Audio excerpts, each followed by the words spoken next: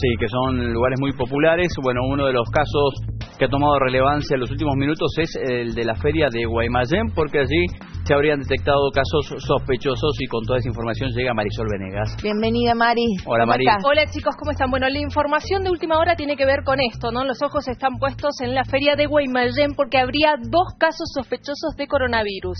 Como consecuencia de ello, se habría procedido al cierre preventivo de dos locales y los baños del complejo. Bien. Pero, pero atención, no hay información oficial. Es lo que nos llega a nosotros desde el mercado. Prefieren no hablar hasta que haya confirmación y lo que sabemos es que personal de salud ha estado trabajando en el lugar. Eh, el- por la feria de Guaymallén circulan aproximadamente unas 10.000 personas Sí. por día, por eh, lo cual intentan enviar tranquilidad desde el lugar diciendo, a ver, dos locales cerrados de manera preventiva no sería tampoco una situación caótica. Así es que esto es lo que está pasando a esta hora. Los ojos están puestos en la feria de Guaymallén por esta posibilidad de dos casos sospechosos y el cierre preventivo de dos locales. Bien.